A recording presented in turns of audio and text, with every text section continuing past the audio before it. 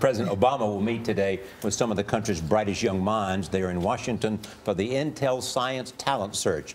40 high school seniors vied for a $150,000 top prize for their experiments and discoveries.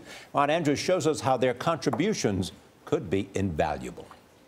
Ladies and gentlemen, I present to you. With more than a million dollars in cash awards on the line and with 40 finalists in formal wear awaiting the judges' decisions, it looked like the last round of a reality show competition, and in a way, it was. Except that the finalists on this stage are not singers, they are scientists, America's very best high school scientists.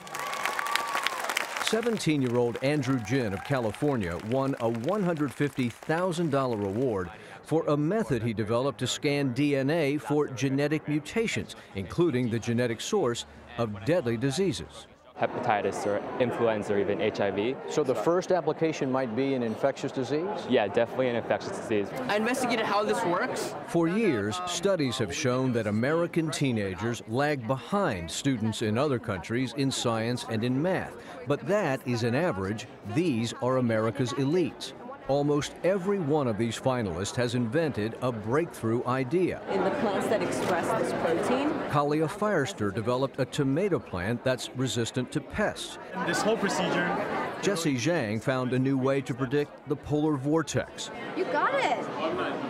17-year-old Kriti Lall invented a kit that removes arsenic from water, which poisons almost 140 million people every year. In terms of, you know, saving people's lives and improving the quality of life, I think it really has huge implications, and I'm really excited about that. The competition and all this pageantry is part of the annual Science Talent Search, which for 17 years has been sponsored by the Intel Corporation. Intel's president, Renee James, says she was amazed at this year's level of innovation. What does it make you think about the future? It makes me hopeful. These kids are thinking about things, not just little science projects, they're thinking about global issues and solving environmental and medical and, I mean, big world kinds of things.